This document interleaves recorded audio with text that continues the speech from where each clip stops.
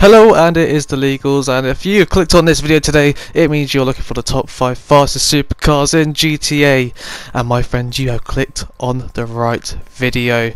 We're going to be going through the top 5 top, fastest top speed supercars in GTA.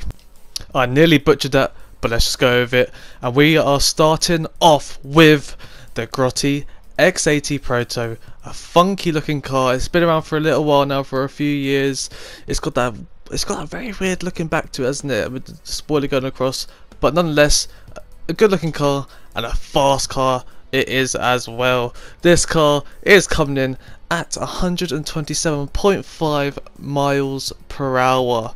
Mental. I will not be doing the kilometers an hour because uh, I, I messed up with that last time. I'm not getting into it. We're doing miles per hour strictly on this video. And this car will also also set you back 2.7 million dollars let's get on to the next one.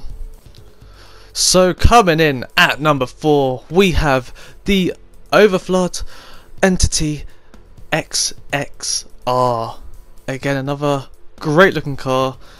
The brother car of the Entity XF, but this one is a lot faster than its brother car.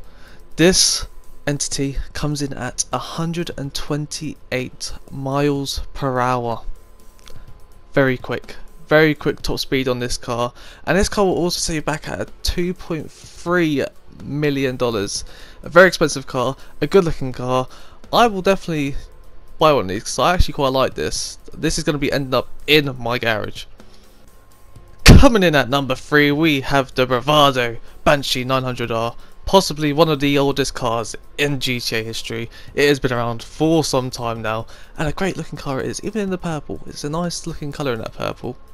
That that didn't make sense, but it's, it's a good colour for that car. But anyway, this car comes in at 131 miles per hour. 131, that is outrageous speed, but it deserves it. It deserves the respect it gets in this game. It doesn't get enough, I think. It doesn't get enough.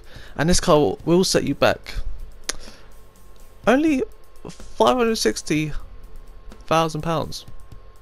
Not as much as I was expecting, I was expecting a million, so not a bad price, and you get a lot of car for it. So why are you not buying it? Go get it. It's the top three fastest supercars in the game. Go get it. We are down to the last two. And someone corrected me on my pronunciation of this car last time because I absolutely butchered it. We have the Principe Deveste 8 a very random name for this car. I don't know why they've named it that. Who knows? Love this car. I love the jet engines. Looks amazing. But this is the second fastest supercar in the game. Bear that in mind. And this car comes in at 131.75 miles per hour. This is mental speed we're getting to now. Just a little bit faster than the Banshee, but that little point extra goes a long way. My terrible driving, sorry, I'm laughing at that. But anyway, this will set you back at a 1.7, nearly 8 million dollars. Mental. A lot of money, but you get a lot of car. Definitely worth it in my opinion. Let's find out what's number one. And coming in at number one, and of course it is the Pfister 811. An amazing looking car. It's beautiful. I see why it's the fastest in this game because it looks amazing. It looks the part, you know what I mean? It's got a lovely spoiler across the back. It's nice and curved edges. It's just ah, it's a lovely looking car. But anyway, the top speed. The top speed is 132.5 miles per hour. This is the fastest supercar in the game. It hits unreal speed and does go around the corner as well, but the checkpoints on this game are rubbish. So again, apologies for the rubbish, rubbish driving. But this set you back $1.1 million. Not too expensive for the fastest supercar in the game. It's worth the money. I think it's another one that I need to look into to invest. So there you have it. There's the top five fastest cars in the game. I'm going to do not fastest, sorry, fastest supercars in the game. I'm going to do the top five fastest sports cars in the game next. So keep an eye out. I hope you've enjoyed. We've been illegals, and we'll see you in the next one. Goodbye.